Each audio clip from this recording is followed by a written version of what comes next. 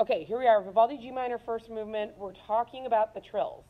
Okay, so let's, where the first trill happens is in measure 39.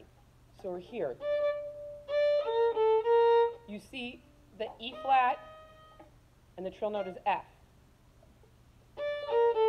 The note right before it is B flat, so what note are we going to start on? Yeah.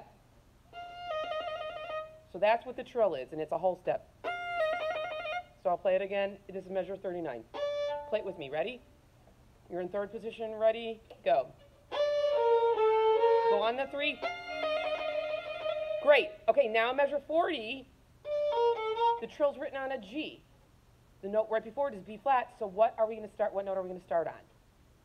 Okay. Correct. Ready? Start on the A. Let's play those two measures together. It was excellent. Ready? Go.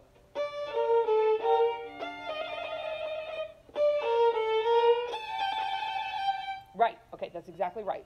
Okay, now we have trills on these double stops. So you're the note right before the trill is a B flat, and the trill's on a C. So what note are we going to start the trill on? D, correct. Let's do that. Let's do it. Ready, go. Right, that's what it is. Starts on the D. Okay. Is this easy for everyone? Everyone seems to know what's going on in this? Okay, now, let's skip over to 59, and it's the same thing in measure 64. Okay, so now we're here. We're on E flat, and now there's a tree on the trill on the D. The note is an E flat, and it was approached by an E flat. So what note are we starting on? Yeah, so you go E flat and then start on D. So let's start from, ready, go. E flat, now go D. Right, and then that'll be the same thing in measure 64. We all understand that, right? Okay, now we go to 74. It's the same thing. C, and then you're on a B. You really can't, that's in a slur too, so you really, it would be really hard to, you could do it in, in the timing, but it would be really hard to do that on a C. So it's, that trill is gonna start on B, right? So let's start from, ready, play. Sorry. Do that one more time. I played out of tune. Ready, go. C, now start on B. Right, excellent, okay. Okay, so now this next section, we're over here in 85, 4, 5. This one's a little tricky because, I'll just tell you because it's skipping around, we're always going to start on the top note. And because of the skipping around, it's a little tricky. So, you have to go C.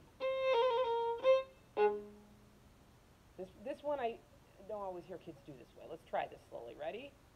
Here we go. Start on C. Start on D. Start on E flat. Does everyone understand that one? Okay, great. And then the next part.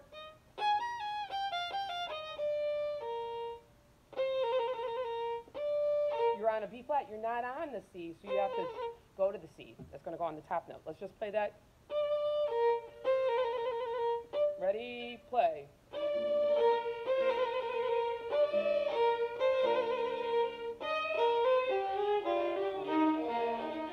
That's the G before, so start on the F. Right. Let's see, going on, I don't see any other trills for a long time. I think that might be, I think every, uh, I think that might be it. Okay, good.